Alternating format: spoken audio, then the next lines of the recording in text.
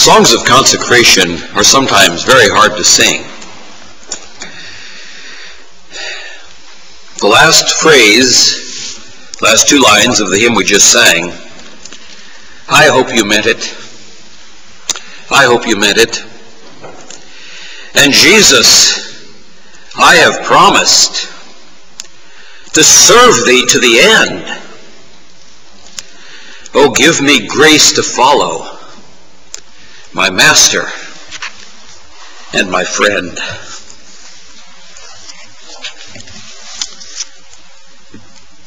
That means a lot to me. Because I have promised to follow Jesus by the grace of God to the end. Take your Bibles and turn with me, if you will, back to that portion of Scripture that we read just a few moments ago. We're in the book of Exodus. We're in chapter 6. Today we're looking at verses 7 and 8. And we raise the question, the Jews as God's people, is the church Israel? The Jews as God's people, is the church Israel? Look at verse 7 with me just a moment again. God has given a whole series of I wills. He said how he appeared to Abraham. He said how he had established his covenant. He said how he had heard the groaning of the children of Israel. And he remembered his covenant. And then he gives a whole series of I wills. I will bring you out from under the burden of the Egyptians. I will rid you out of their bondage. I will redeem you with a stretched out arm with great judgments. I will, and this is our phrase for today, I will take you to me for a people, and I will be to you a God. And ye shall know that I am the Lord your God, which bringeth you out from under the burden of the Egyptians. And I will bring you into the land concerning the which I did swear to give it to Abraham, Isaac, and Jacob. And I will give it to you for an heritage. I am the Lord. You get the idea that God has decided he's going to do something? These are the great I wills of God. How many of those I wills are allegorical? How many of those are spiritualized? Versus how many of those are literal? Verse 7, I will take you to me for a people, and I will be to you a God, and you shall know that I am the Lord your God, which bringeth you out from under the hand the burden of the Egyptians. Rather important statements by God. Either he's telling us the truth or he's not. Either these are all literal or they are not. You can't take some of them literally and some of them allegorically and spiritualize them. And that's why we ask the question today, the Jews as God's people is the church Israel? Or do we have to take that one claim in verse 7 allegorically and spiritualize it and say, no, that refers to the church. That does not refer to Israel as a national group of people whom God redeemed by his outstretched and powerful and mighty hand from the harm that was being done them by the Egyptians. Now, in our 13-part study, we learned 28 specific things about the covenant of the land. We studied three reasons that God cast the people out of the land, even though he promised to bring them back. He cast them out because of stubbornness, stiff-neckedness, and rebellion. We studied chastening and how God chastens both Israel and his people. He gave them to us as a visible example of how he will deal with us today in the church. We learned four key lessons. One, how God deals with Israel as an elect group of people, gives visible illustration of how God deals with us as elect individuals because he loves us and because he wants to have fellowship with us. The second lesson that we learned was God is the one who sovereignly works repentance in the heart of man in his time. That's the doctrine of election and predestination applied to real time in real history in the sphere of time and space. Their application is not theoretical. It is not merely theological. It is world shattering because God uses predestinating purposes to accomplish his will in this world. The third lesson that we learned was that repentance is not normal. It's not a normal human response. Because when we're confronted with sin, we always want to make excuses for it. Repentance is not even normal when we're suffering because of sin. Usually we stubbornly resist. We don't want to make a connection between our suffering and our sin. Now we know that not all suffering is a result of our personal sin, but some of our suffering is. We all suffer because sin entered into the world through Adam and death by sin, and so death passed upon all men, for that all have sinned. But some of our personal suffering and the suffering of others is a result of our personal sin. Your sin not only causes you to suffer, your sin causes other people to suffer. The problem is sin, which the world does not want to admit exists. And so without the sovereign work of God, we do not repent, we resist. The fourth lesson that we learned, which is where we closed last week, was with that backdrop, we saw how repentance fits into the prophetic future of Israel. The final repentance of Israel and the full possession of the land is scheduled to occur at the second coming of Christ. That's not merely a statement in Deuteronomy chapter 30, which we looked at, but that's consistent in the New Testament that God is not through dealing with his national people, Israel, the Jews. Peter preached national repentance and restoration to the Jews in Acts chapter 3 before the return of Christ. And that was, you recall, in the temple after the healing of the lame man, to the Jew first.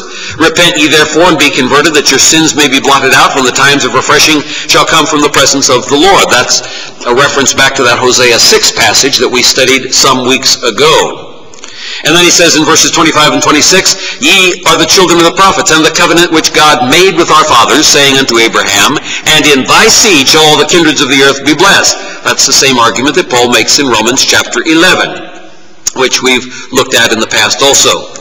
Unto you first, that is to the Jew first, God having raised up his son Jesus, sent him to bless you in turning away every one of you from his iniquities. That's repentance. And so Peter is preaching national repentance and restoration of the Jews before the coming of Christ. We saw the restoration of all the Jews from all over the earth will be part of the millennial return. Isaiah chapter 11, we looked at verses 6 through 10. Talks all about the wolf is going to dwell with a lamb, leopard's going to lie down with a kid, calf is going to be with a young lion, the fatling together, a young child shall lead them, and so on. And in verse 10 it says, in that day shall there be a root of Jesse, which is our Lord Jesus Christ, which shall stand up for an ensign of the people. To it shall the Gentiles seek, and his rest shall be glorious. If you were with us on Wednesday evening, we talked about those ensigns 200 foot tall poles that were in Egypt that were the ensigns of the God of Egypt. And then Jehovah declares after his battle at Rephidim against the Amalekites that he will be the banner, the ensign of Israel. Powerful, powerful stuff. Oh, I wish you were with us on Wednesday evening. Anyway, but Jesus himself is going to be the ensign to the people. The banner, the flag, to it shall the Gentiles seek. They will follow that banner.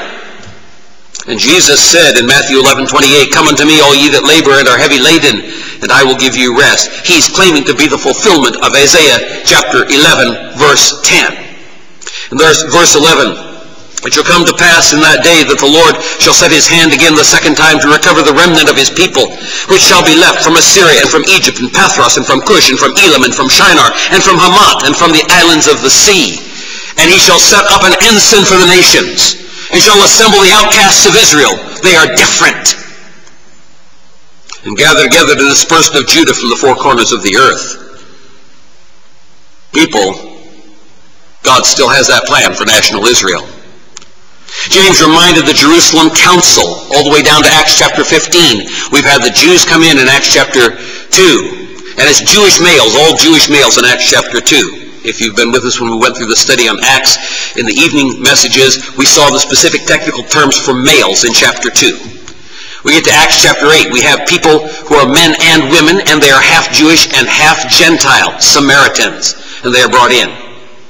We get into Acts chapter 10 and we find Gentiles, 100% Gentile.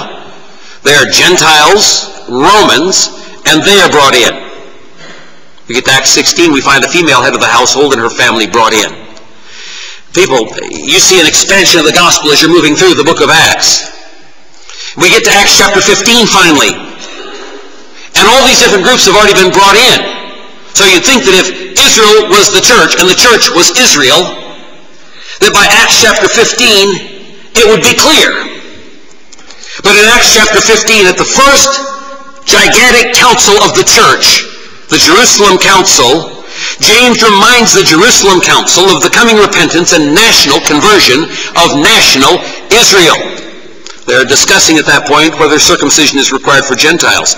And Acts 15, 15, and 16, and to this agree the words of the prophets, as it is written, After this I will return, and build again the tabernacle of David, which is fallen down, and I will build again the ruins thereof, and I will set it up.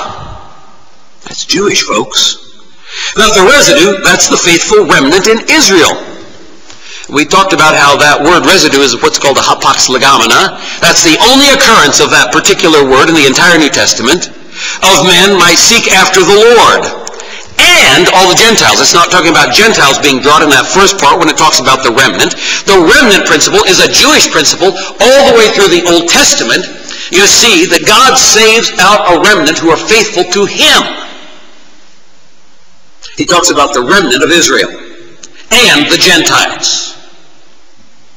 And James is talking about it in Acts chapter 15.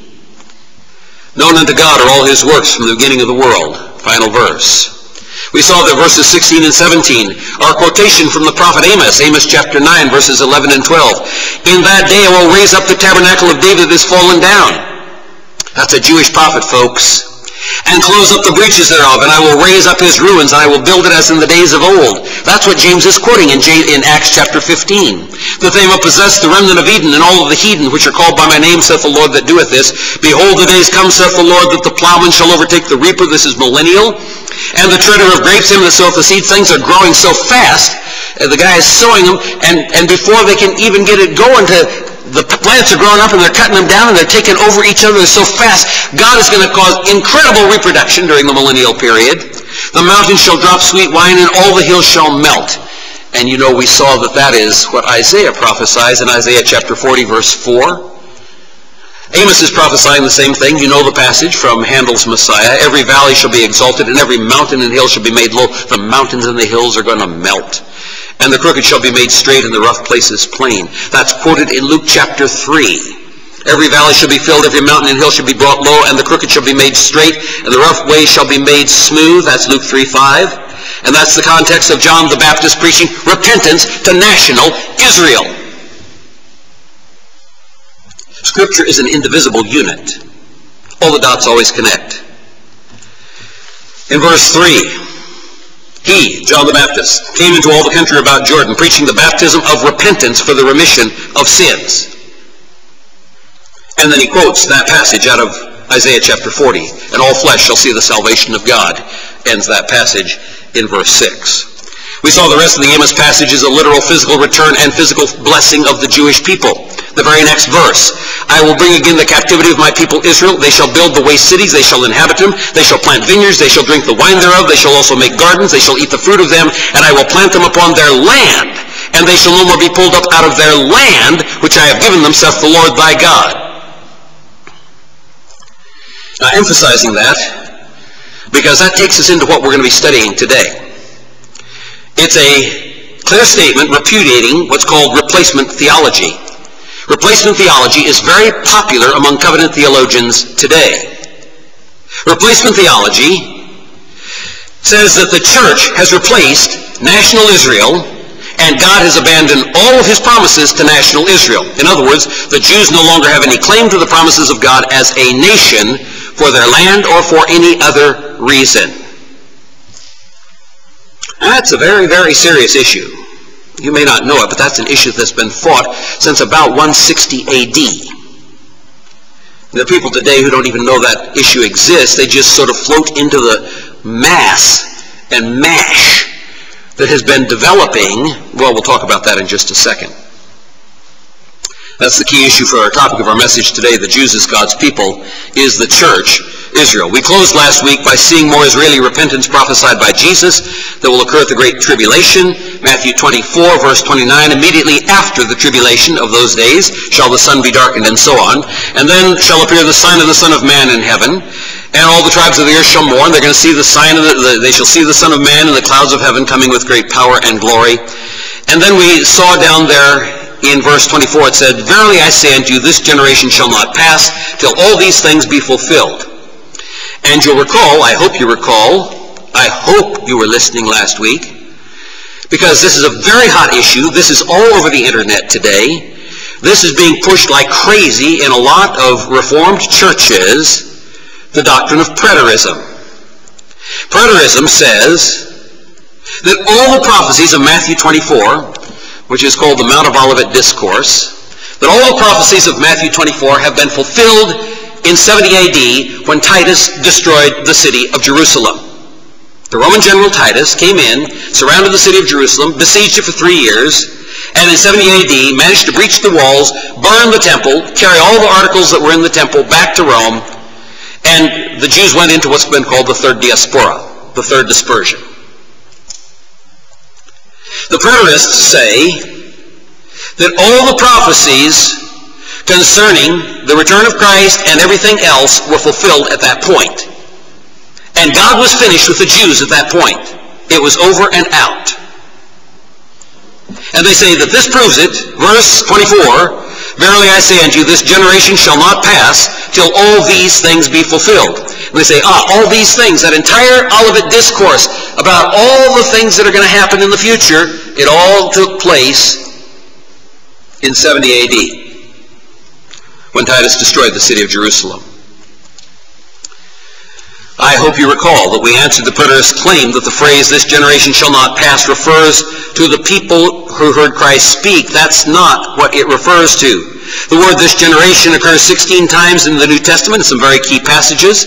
The preterists say it refers to that generation heard him speak. But that rips it out of its context. Because the context is the parable of the fig tree in the immediate two preceding verses. Now learn a parable of the fig tree.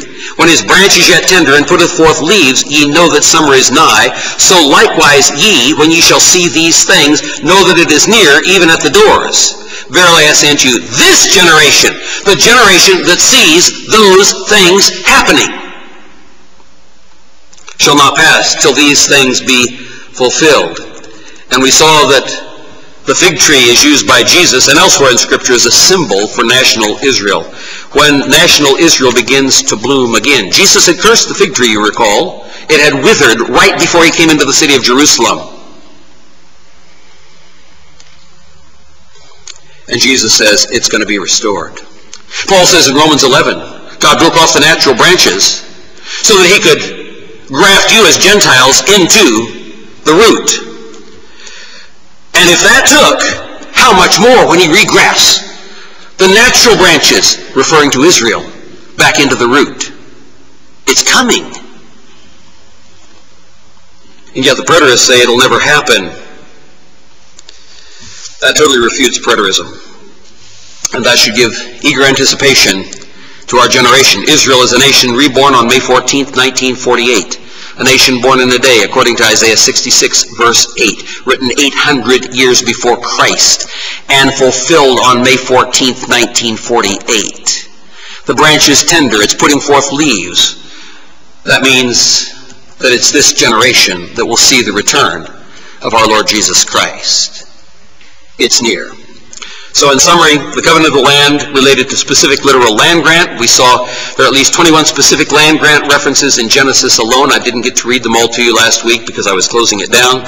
And we saw there are additional interwoven promises that support the literal prophesied covenant of the land. Six major areas of prophecy that guarantee that national Israel will have the entire land promised to Abraham from the Euphrates River on the east to the Nile River, the river of Egypt on the west how promises of the return of Messiah guarantee the land promises, how Israel's conversion as a nation guarantees the land promises, how judgment on the oppressors of national Israel implies a land and a nation, how future promised national blessings to Israel imply a land and a nation, how the promises of a king forever implies a land and a nation, how the promises of a throne forever implies a land and a nation. And we close with these words. Remember, this is the God who made his promises to you this is the God who keeps his promises. If God doesn't keep his promises to Israel, we just read them in Exodus chapter 6, verse 7, where God says, You are going to be my people, I'm going to be your God. You can't take those two I wills out of that whole list of I wills of what God's going to do and say those two are allegorized. Those two refer to the church. Those don't refer to Israel. Either God is telling you the truth in all of them and they're all literal, or God is not telling you the truth in any of them and they're not literal. Okay. Now, I'm going to read you a series of extensive quotations to show that I'm not making it up about replacement theology and that it has deep roots in history. It's going to be a series of quotations. One man who used to attend this church said to me not long ago that I was making it all up. No, this has been a hot topic since the middle of the second century AD up to the present time. Let me read you some quotes. Quote, replacement theology is the view that the church is the new or true Israel that has permanently replaced or superseded Israel as the people of God. Another term often found in academic circles for replacement theology is supersessionism. Now, if you're in academia, if you follow any theological journals, if you read the stuff that's too boring to even go to sleep to, uh, the other word that is used in academia is supersessionism. Replacement theology, I continue the quotation, replacement theology has been the fuel that has energized medieval anti-Semitism, Eastern European pogroms, the Holocaust, and contemporary disdain for the modern state of Israel. Mike Vlach, and by the way, if you need any of these uh, references, I have the entire chain of references, all the different sources that are cited. This comes from his work, The Church as Replacement of Israel, an analysis of supersessionism. Had, it was his PhD dissertation at Southeastern Baptist Theological Seminary. Um, so this is the guy that I'm quoting right now. I'll be quoting some other people here in just a second. Mike Vlach notes, the acceptance or rejection of supersessionism may also influence how one views the modern state of Israel and events in the Middle East. Wherever replacement theology has flourished, the Jews have had to run for cover. Unquote. Protestant covenant theologian Kenneth Gentry defines replacement theology to which he holds, he believes it, as follows, quote, We believe that the international church has superseded for all times national Israel as the institution for the administration of divine blessing on the world, unquote. Gentry adds to his initial statement the following embellishment, quote, that is, we believe that in the unfolding of the plan of God in history, the Christian church is the very fruition of the redemptive purpose of God. As such, the multiracial, international church of Jesus Christ supersedes racial, national Israel as the focus of the kingdom of God. Indeed, we believe that the church becomes the Israel of God. Galatians 6.16. We'll be looking at some of these passages and analyzing their context to see if what he says is true. The seed of Abraham, Galatians 3.29, the circumcision of Philippians 3.3, the temple of God, Ephesians 2.19 through 22, and so forth. We believe that Jew and Gentile are eternally merged into, quote, a new man in the church of Jesus Christ, Ephesians 2.12 through 18. And then, quoting this uh, totally out of context, what God hath joined together, let no man put asunder. That is certainly not very good exegesis. But anyway, do all those passages teach what Kenneth Gentry says they teach? If you read them in their context, is that what it says? Now, some of the things he says are partially true. That's what gives the deception such power. Walt Kaiser, who was teaching at Gordon Theological Seminary when uh, I went to college at Gordon College, tells us that replacement theology, quote, declares that the church, Abraham's spiritual seed, had replaced national Israel in that it had transcended and fulfilled the terms of the covenant given to Israel, which covenant Israel had lost because of disobedience. So they lost the covenant that God made with them based on his own name? European scholar Ronald Diprose defines replacement theology as follows, quote, the church completely and permanently replaced ethnic Israel in the working out of God's plan and as recipient of Old Testament promises addressed to Israel, unquote. In the view of the supersessionists, that is people who believe replacement theology, they believe that Israel is a has-been and has no future in the plan of God. They believe that the church inherits all the blessings while Israel is meant only to endure the curses. Remember the blessings and the cursings from Mount Ebal and Mount Gerizim? If they do certain things, they'll be blessed. If they do certain things, they'll be cursed. Let me give you a little more here.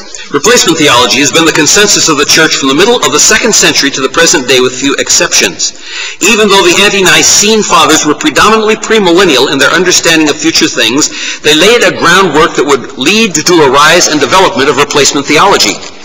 Premillennialist Justin Martyr was the first to view, quote, the Christian church as the true spiritual Israel around 160 AD. Justin's views laid the groundwork now, note, you don't find any of that before 160 AD. You don't find that in the early church. You don't find that in the book of Acts. You don't find that in the apostolic writings. You don't find that in the disciples of those who were the apostles at the time of Christ. Justin's views laid the groundwork for the growing belief that the church had superseded or replaced Israel. Quote, misunderstanding of it colors the church attitude to Judaism and contributes to anti-Semitism, notes Peter Richardson. He adds, in spite of the many attributes, uh, characteristics, prerogatives of the latter, which are applied to the former, the church is not called Israel in the New Testament. The continuity between Israel and the church is partial, and the discontinuity between Israel before Christ and its continuation AD is partial. In other words, you can see similarities. Because God chose to use visible national Israel to teach certain principles about how God deals with his people. But that does not mean that the church is Israel. God is using Israel to teach us. We've talked about that in great detail in the past. Kaiser points, paints the following developmental picture in the early church. Quote, replacement theology is not a new arrival in the theological arena, for it probably has its origins in the early political ecclesiastical alliance forged between Eusebius Pamphilus and the Emperor Constantine. That's in the 300s. Constantine regarded himself as God's representative in his role as emperor, gathered all the bishops together on the day of his tricennalia, that's the 30th anniversary of his reign, an event, incidentally, which he saw as the foreshadowing of the eschatological messianic banquet. Now, Constantine was a pagan. He baptized all his troops when he saw the sign of the cross in the sky, and he did it by standing next to the river and throwing buckets of water on them. And that made them all Christians, right? The results of that meeting in Eusebius's mind made it unnecessary to distinguish any longer between the church and the empire. Folks, what do we have? Roman Catholicism beginning to bloom. For they appeared to merge into one fulfilled kingdom of God on earth in the present time. Such a maneuver, of course, nicely evacuated the role and the significance of the Jewish people in any kingdom considerations. Here began the long trail of replacement theology. Unquote. This gentleman didn't know his historical theology when he told me there's no such thing as replacement theology. Where'd you ever get a term like that? Folks, this has been an argument, a battle going on in the church since 160 AD. And it is a rather significant battle because it led to the rise of Romanism. It's one of the key issues that got a Roman Catholic papacy established. And it doesn't exist. People, we have a very serious problem on our hands. Houston, are you listening? Impact of replacement theology. Let me give you a little more. Quote, the doctrine of replacement theology reflects a wide range of Christian thinking, notes Menachem Ben Haim, Jewish guy. From utterly malignant anti-Jewish hatred to simple misunderstanding and misapplication of biblical texts, unquote. Since Israel is a subject found on just about every page of the Old Testament, to get that subject wrong can only lead to a mega distortion of Scripture. This has indeed been the case throughout the history of the church. You understand why I feel so fervently about this issue of God's promises for Israel, why I spent 13 weeks on the covenant of the land, why I firmly believe that Israel is not the church and the church is not Israel, that they are two distinct entities within the plan of God for different purposes at different times, times in history, so that God might get the greatest amount of glory, and he's a God who keeps his covenant. He always tells the truth. He does not lie, and he means what he says, and he says what he means. A friend of mine is named Arnold Fruchtenbaum. He married a classmate of mine at Gordon College, Arnie Fruchtenbaum, uh, really sort of a neat guy. And uh, you've heard me quote him on occasions in the past. He runs a, a great outreach ministry, Ariel Ministries, to uh, reach Jewish people and to train Gentiles in the Jewish backgrounds of uh, the Scriptures. He is fond of saying, while the church is said to be a partaker in Israel's promises in the New Testament, nowhere is she said to be a taker over of Israel's promises. That's very important. Yes, we do partake of the, the wonderful blessings that come from the root because we've been grafted into the root. While Israel temporarily has been broken off, but Israel is going to be regrafted into the same root, according to Romans chapter 11. Let me give you another one. British commentator C.E.B. Cranfield, Cranfield, who is by no means a Bible-thumping fundamentalist, and the commentator here says, a rare moment in academia, provides the following appropriate apology. Quote, it is only where the church persists in refusing to learn this message, where it secretly, perhaps quite unconsciously, believes, now listen to this carefully, believes that its own existence is based on human achievement and so fails to understand God's mercy to itself. That it is unable to believe in God's mercy for still unbelieving Israel. And so entertains the ugly and unscriptural notion that God has cast off his people Israel and simply replaced it by the Christian church.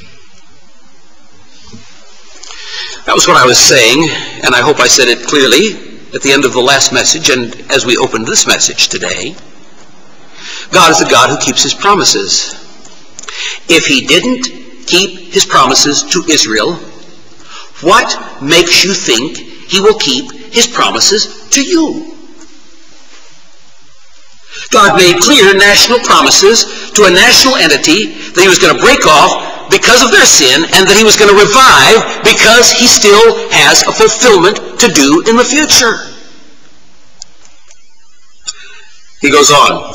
These three chapters, Romans 9 through 11, emphatically forbid us to speak of the church as having once and for all taken the place of the Jewish people. Now this guy is not a fundamentalist. This guy is not a rabid Bible beater.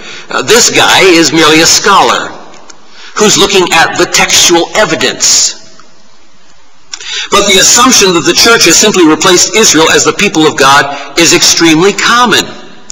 And I confess with shame to having also myself used in print on more than one occasion this language of the replacement of Israel by the church. Unquote. I hope I've made my case that this is a major issue in the church today. It is a major issue that takes us back to the formation of the Roman Catholic Church. It is a key issue concerning the integrity of God. I think as we've just seen by the quotations from the early church fathers, replacement theology and amillennialism are historically Roman Catholic theology. When the Reformation occurred, the Reformers were fighting a different battle. They were fighting the battle of justification by faith, and we talked about that on Reformation Sunday a couple of weeks ago. They were not fighting battles of eschatology other than to conclude that Rome was the Babylonian harlot, and you'll find Luther writing to that extent. Rome, you see, claimed at that time, and still claims, Rome claimed to be the true Israel of God. The reformers looked at that and they said, that's a joke. They looked around, they saw no Jewish state. That didn't happen until 1948. And so they decided that if Rome is not the true Israel of God, they must be the true Israel of God. In other words, they essentially swallowed Roman Catholic theology and applied it to themselves because God had not yet brought Israel back to the land. Rather interesting.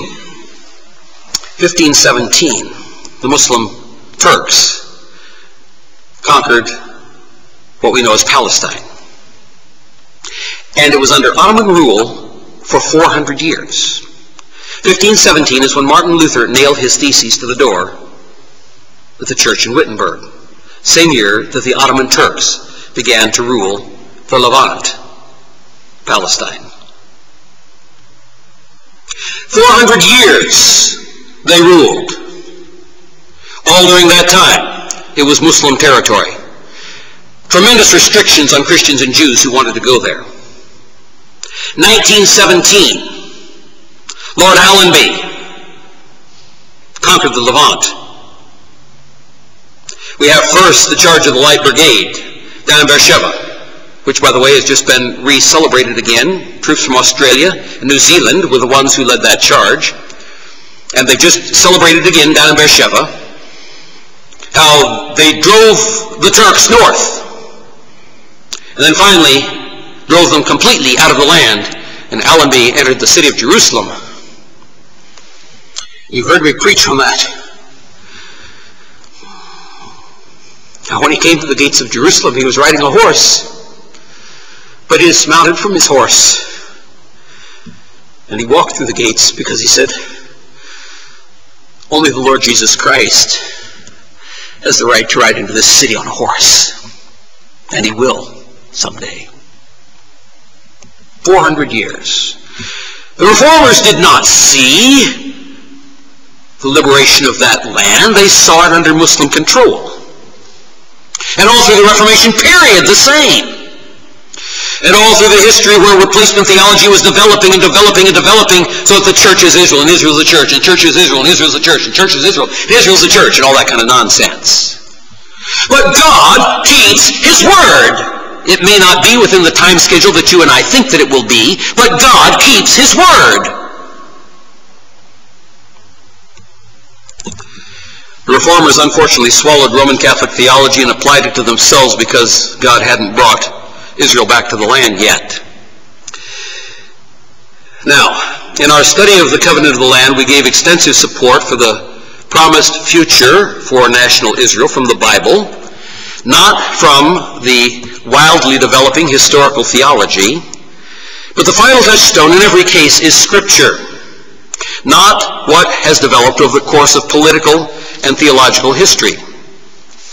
We find the term Israel is used in Paul's letters quite a number of times. In fact, Paul uses the term Israel than any place else in the New Testament. As a matter of fact, you do not find the use of the term Israel in the book of James. You do not find it in 1st and 2nd Peter. You do not find it in 1st, 2nd, 3rd John. You do not find it in the book of Jude. You find it three times in Revelation. All the rest are in the writings of Paul, not counting the Gospels where we're dealing with historical Jews in a historical context. All the rest of the writings of Paul. And yes, I believe Paul wrote the book of Hebrews because it occurs three times in the book of Hebrews, the term Israel.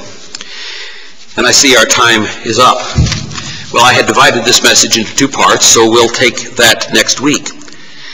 But um, some key verses. Romans 9 6. Not as though the word of God hath taken none effect, for they are not all Israel which are of Israel.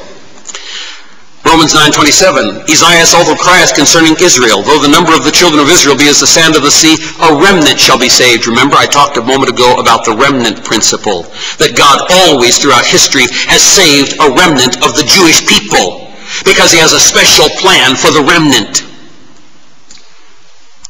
Verse 31, But Israel, which followed after the law of righteousness, hath not attained to the law of righteousness. Romans 10.1, Brethren, my heart's desire and prayer to God for Israel is that they might be saved.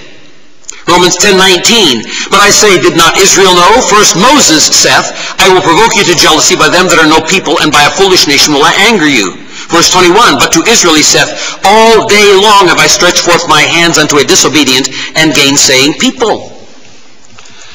Paul is clearly talking about a national group of people. He's writing to Gentiles. He's writing to people at Rome. But Paul is very clearly saying and implying at the very least that God still has purposes for Israel. Romans 9, 10, and 11 completely destroy replacement theology. Completely destroy the very non-biblical idea that Israel is the church and the church is Israel. Oh, we could read some more. Romans 11, 2. God hath not cast away his people which he foreknew. I mean, how can you get any plainer than that? God hath not cast away his people which he foreknew. Now, Paul is writing this after the day of Pentecost. God hath not cast away his people which he foreknew. He is writing this after the Samaritans come in in Acts 8. God hath not cast away his people which he foreknew. He's writing this after the Gentiles have come in in Acts chapter 10.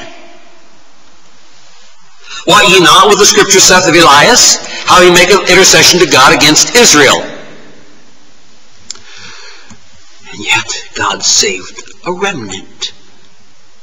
God told Elijah, don't you realize I have 7,000 men who have not bowed the knee to Baal? Does God spare a remnant in Israel? You see that all the way through Scripture.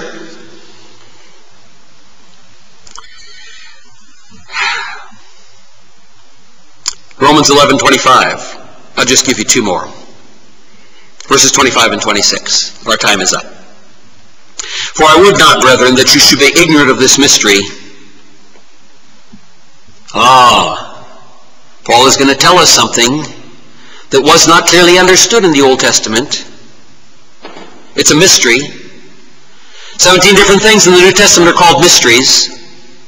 For I would not, brethren, that you should be ignorant of this mystery, lest you should be wise in your own conceit, that blindness in part is happened to Israel until the fullness of the Gentiles become in. And so shall all Israel be saved. He's been talking about national Israel, not changed his topic, so shall all Israel be saved, as it is written, There shall come out of Zion the deliverer, and shall turn away ungodliness from Jacob. Is the church Jacob? Is the church Jacob? He's equating Israel and Jacob here. Those are the two names given to a specific man in the Old Testament who is the progenitor of the 12 tribes of national Israel.